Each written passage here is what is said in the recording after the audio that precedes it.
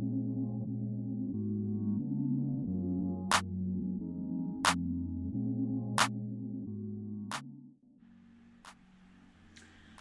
everyone, welcome back to my channel. Today I am painting on a 30 by 30 centimeter canvas. I'm going to be doing a palette knife swipe. I'm going to be putting puddles over the canvas and then swiping through with a swipe colour and then teasing it. My colours today are all my pre-mixed and ready to pour Araldo paints. Now my base colour is going to be Oyster.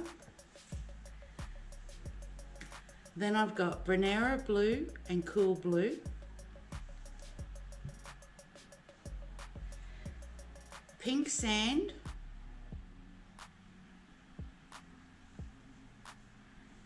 Metallic Gold and Wattle.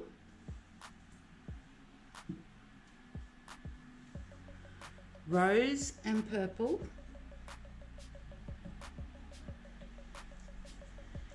and deep sea and turquoise.